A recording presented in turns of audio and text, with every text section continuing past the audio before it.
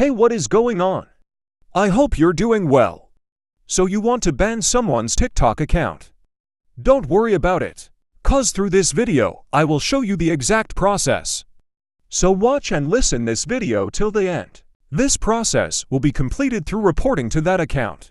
But one thing you need to keep in your mind is that the reason behind the report must be true. If the reason of reporting is true, the account will be banned for permanently. To learn it, watch the full video. So first of all, open your TikTok app. Now go to that profile you want to ban. Then tap on the three dot at the upper right side. Now tap on Report.